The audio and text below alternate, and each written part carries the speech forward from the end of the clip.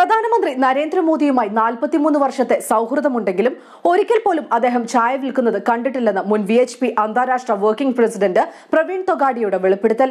നിങ്ങൾക്ക് മുന്നിൽ മോദി ചായ വിൽപ്പനക്കാരനായത് സഹാനുഭൂതി നേടുന്നതിനാണെന്നും തൊഗാഡിയ പറഞ്ഞു.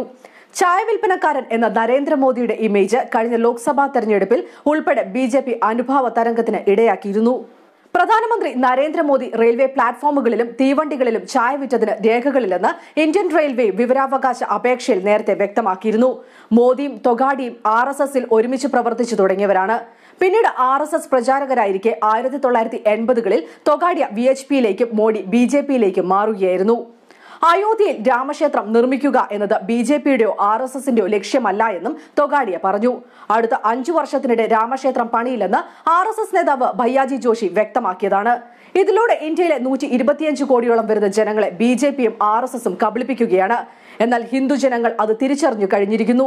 ഫെബ്രുവരി ഒൻപതിന് ഹിന്ദുക്കളുടെ പുതിയ രാഷ്ട്രീയ പാർട്ടി പ്രഖ്യാപിക്കുമെന്നും പാർലമെന്റിലേക്ക് മത്സരിച്ച് വിജയിക്കുമെന്നും തൊഗാഡിയ പറഞ്ഞു.